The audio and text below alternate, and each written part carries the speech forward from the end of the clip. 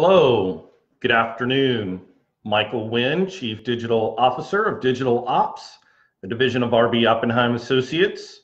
Happy Friday, guys. Thanks for joining in to the Digital Ops Marketing Podcast and video where we discuss digital marketing strategies to grow your business. Today, we're going to talk about how Google SEO plus your podcast equals double return on your investment for your digital marketing campaigns. You know, a lot of people don't think about SEO and podcast and how they might work together uh, as part of an overall digital marketing strategy. And today I want to talk about a couple of points that should really convince you why it should be part of your overall strategy and, and part of the tactics that you deploy uh, as a brand to uh, not only elevate your brand, but also to provide a, a, a natural digital gateway uh, for new customers to find out about you, as well as to um, enrich and provide value to those who are already your, your customers. So let's start off right away and think about number one, Google loves original content. That's probably one of the biggest um, factors when Google looks at what site ranks higher than another site is they're really looking for uh, original content and not only original content but the frequency at which that content is published. So what is original content? Well quite simply it's content that you've written uh, and that's only found on your website uh, and that you've got organized in such a way that points to your authority on a subject matter, a specific subject matter that's related to your products or your services. So it used to be in the days, you know, um, backlinks were a real part of SEO. And again, if for those of you who are not familiar with the term SEO, it really stands for search engine optimization. You're really trying to optimize your content to get the attention of the search engines to notice uh, that you are an authority on a specific subject matter. Um, so how does that work or, or how does that relate to a podcast?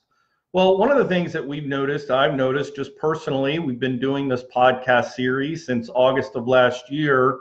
And, you know, one of the things that I've seen is I typically try to keep the podcast around eight to nine minutes. Sometimes we go a little bit longer, especially like on the series that we've done uh, on Traction, which is a book review with my good friend Katie Lilly from Lilyfield Accounting Solutions.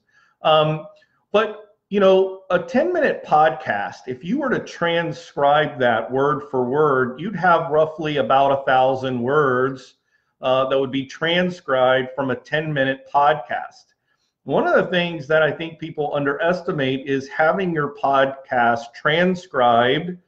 And then obviously you want to go back through it and delete out the ums and the uhs and you know the various pauses or you know maybe you double speak or, or you say something that in an audio format you know the listener just kind of goes along with you. But in the written word it's important to edit that information out. But if you were to take a, a transcription of a 10 minute podcast you would find yourself with a nice piece of about a thousand words of content that you could then think strategically about how does that relate to the other content on your website. So if I'm doing a podcast like I'm doing today, where I'm talking about SEO and I'm talking about podcasts, I'm talking about digital marketing, in the words, in the transcription of that, I can actually highlight the word, link it to that core service page on my website. So I've got a service page called SEO. I've got a service page that's called podcast. I've got a service page called digital marketing on my website. And within that transcription, I can hyperlink that word to those pages. And then, of course, I'll post that content to my website. And so, what happens is over time, when you build a library of content that's a thousand words of original content that's strategically linked back to your core service or product pages, that really tells Google, hey, this is an authoritative piece of content that relates to a core piece of content on my website. And that, my friends, is what Google is looking when it starts to think about where does your site rank in compared to your competitions.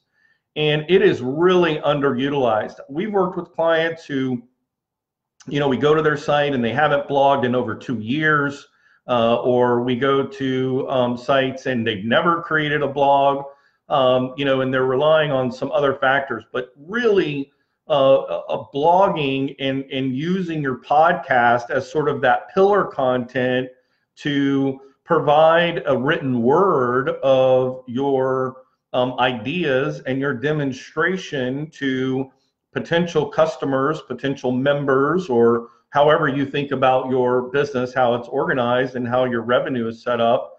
Um, you know, your written word can really have a huge impact, and it is often neglected and overlooked, but it is part of, uh, you know, really, we've talked about this before digital content at scale.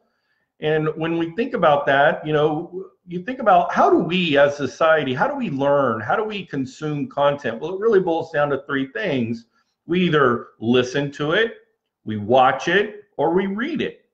And I think a lot of times people will make the mistake of putting all of their eggs in the watch basket, which is a, it's a good basket to be in because a lot of people like to watch content, video content, um, and that's how they learn and that's how they like to consume content. But there's a growing majority of people who like to learn and listen and educate themselves um, through audio as well as through written word.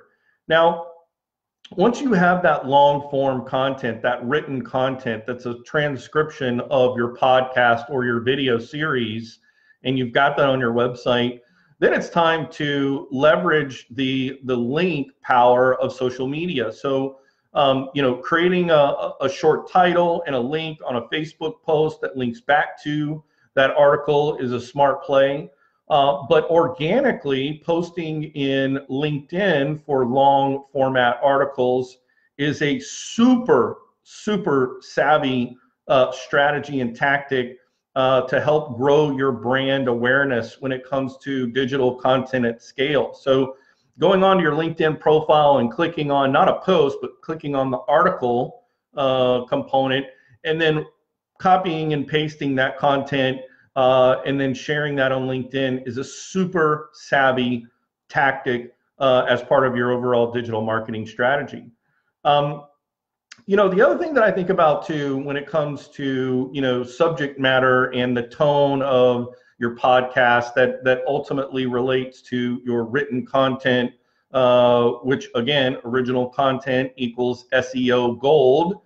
Um, think about it in terms of education and entertainment. Those two pieces are really sort of the bedrock of um, why people will come back and listen and enjoy uh, your content. You know, if you can provide value either through education, teaching them uh, about your product or service is a great strategy. Or provide some entertainment value sort of mixed in there, you know, uh, whether it's humor or uh, you know, whether it's storytelling, you know, whatever the entertainment value is that you can mix into there, um, again, can be a, a, powerful combination and really generate more interest.